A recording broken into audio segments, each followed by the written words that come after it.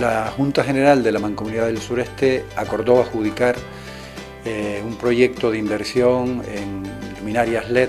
Los fondos proceden del Cabildo, del Plan de Cooperación Institucional, y el procedimiento administrativo se ha hecho en tres lotes, uno en cada uno de los municipios, con las ventajas de este tipo de luminaria. Sustituir la luminaria obsoleta, que tiene un mayor consumo, esta tiene ahorros cercanos al 60-70% en cuanto al consumo energético, una mayor capacidad eh, luminaria y evitamos también eh, contaminación lumínica. Por lo tanto, son todo ventajas que permiten ir en la línea de trabajo del Plan de Desarrollo Sostenible de la Mancomunidad del Sureste.